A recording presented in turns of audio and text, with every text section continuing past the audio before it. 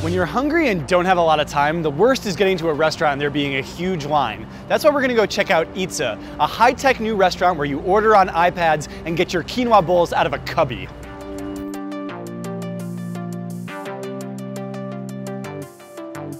So the first thing you'll notice when you come into Eatsa is that there is no cashier. There's nobody there to take your order. Instead, you just get a big menu for you to select from and then a whole wall of iPads that you can choose uh, to use and put your order in. So to start, I'll swipe my credit card and I'll get another look at the menu. So I could choose from the pre-made selections or build my own. So I'm gonna go with the smokehouse salad, their first one. Seems like a good choice. Uh, I can check out more details about the calories and protein, you can even get even more nutritional information, how it's served, if it's good for dairy or gluten allergies, and I can even customize it if I want. But I'm gonna keep it with most of the same stuff. And then I can go to checkout, I'll see my whole order. I can choose to get an email receipt. So now we wait.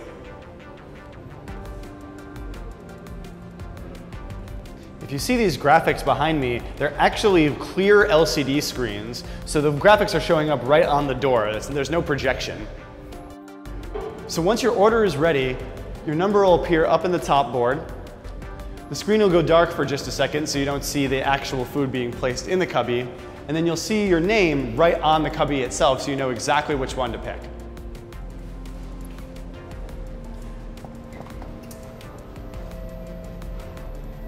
Okay, that was futuristic. All right, let's give this a bite.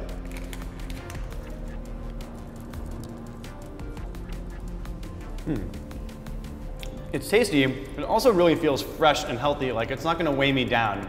A lot of people, the problem with lunch at the office is that they eat something too heavy, and by 3 p.m., they don't wanna work anymore. But this, I think, could actually keep me energized and feeling light and peppy for the rest of the day. So tell me a little bit about why you were so drawn to making this high tech. Where did you get this idea for all the technology?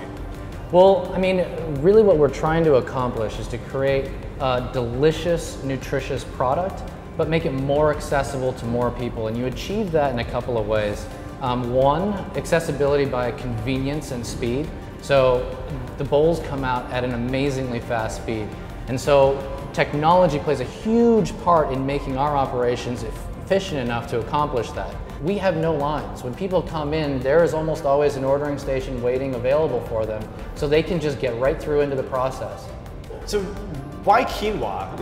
One, quinoa is just an amazing food. Um, and, and we identified it very early on as sort of the core of what we wanted to build the, this platform on top of because um, it has such great nutrients in it. Um, two, it has a ton of protein. It's actually packed with protein. So it allows us to have a really protein-packed meal. Um, yeah, I, re I, really enjoyed it, and I love meat, but I was still really enjoying the meal even without it. I didn't even notice it wasn't there. Well, you're still gonna have to leave your desk to go to Eatsa. The fact that you can just order on the iPad, pick it out of the cubby, and go back to your desk means it's really about the most productive way you can get lunch without having it delivered right to your door.